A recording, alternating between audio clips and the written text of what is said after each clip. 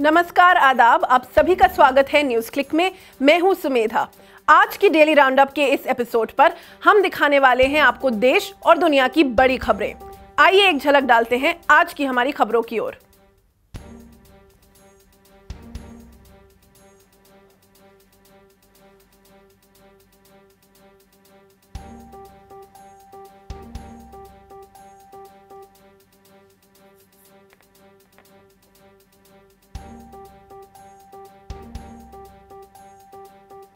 आज की हमारी सबसे बड़ी खबर है इलेक्टोरल बॉन्ड्स पर। ट्रांसपेरेंसी इन इलेक्शंस एक बहुत ही बड़ा मुद्दा उभर कर आया है 2019 के चुनाव में। सब सरकार से काफ़ी बड़े सवाल पूछे जा रहे थे पॉलिटिकल पार्टीज़ की फंडिंग पर। आज सुप्रीम कोर्ट ने एक बड़े रूप से ये कहा है कि इलेक्टोरल बॉन्ड से जो फंडिंग होती है पॉलिटिकल पार्टीज़ को, उस पर रोक नहीं लगाई जाएगी।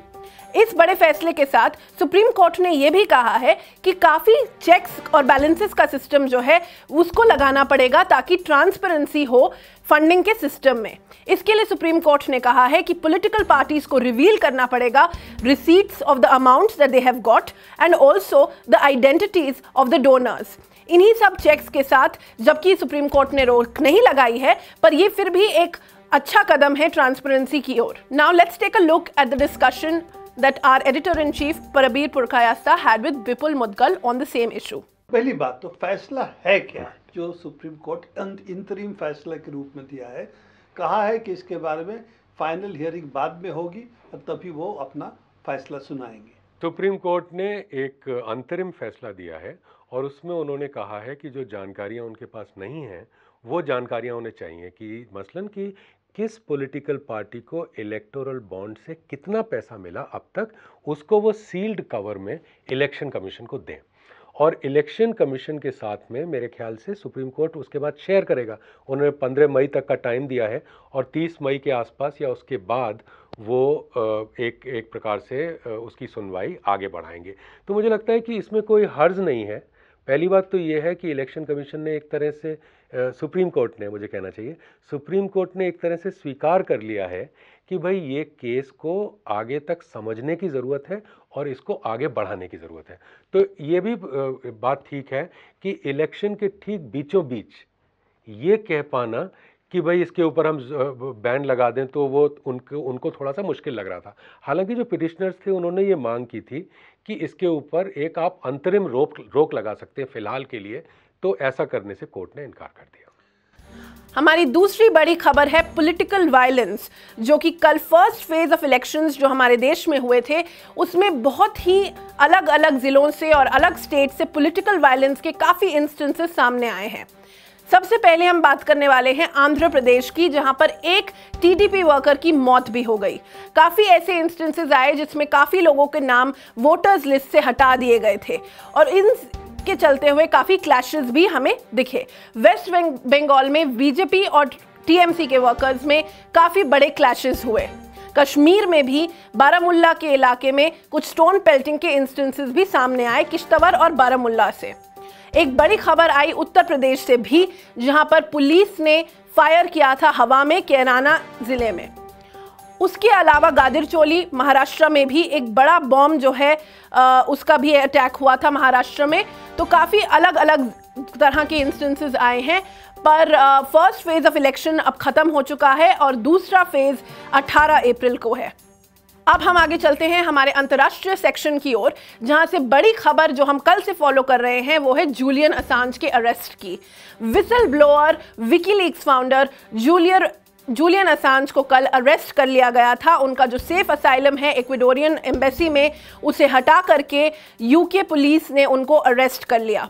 ना देर इज़ अ पॉसिबिलिटी कि उन्हें यूएस लेके जाया जाए एक क्रिमिनल ट्रायल के लिए।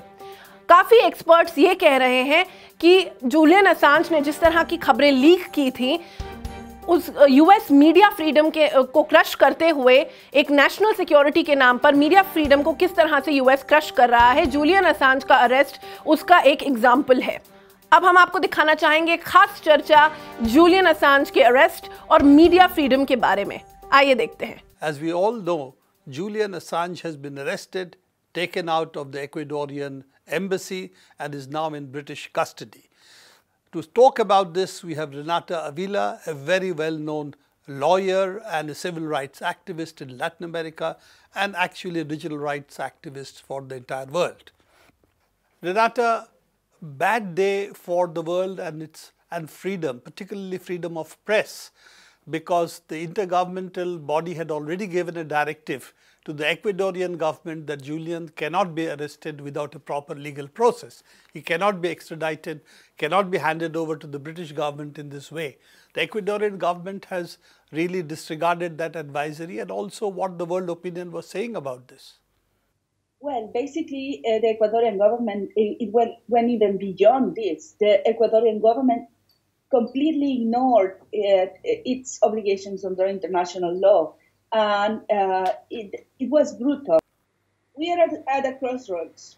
We are really in a, in a defining moment, and this moment should be defined by principles and courage.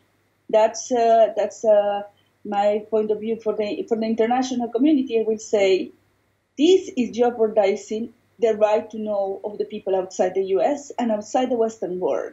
If we have unequal right to know, and if any person trying to elevate that right to exercise that right for us because that, that that's the crime. Uh, the crime of, of Julian Assange is that he's uh, not not American and that he has opened up. He's a truly international journalist. Uh, his internationalism has been so powerful that he, without making a profit, without be, being like a uh, elevated as many gurus get elevated when they create an app to make us slaves of our devices. He did the opposite. He created a public interest technology and then he innovated so much in journalism and opened up the ability for anyone, anywhere in the world without paying a cent, without being tracked, uh, to know about the, the, the precisely the, the kind of documents that uh, those in power do not want to know uh, us to know, and they do not want us to know because if we know what is really going on behind closed doors, we will get really upset. Thank you, Renata, for being with us. The real crime of real crime of Julian Assange is speaking truth to power, the fundamental task of all media. इसी के साथ daily roundup के इस episode में बस इतना ही। देश और विदेश और इलेक्शंस की अन्य खबरों को फॉलो करने के लिए लॉग ऑन कीजिए हमारी वेबसाइट पर www.newsclick.in सब्सक्राइब कीजिए हमारे यूट्यूब चैनल को और फॉलो कीजिए हमें फेसबुक पर। देखने के लिए शुक्रिया।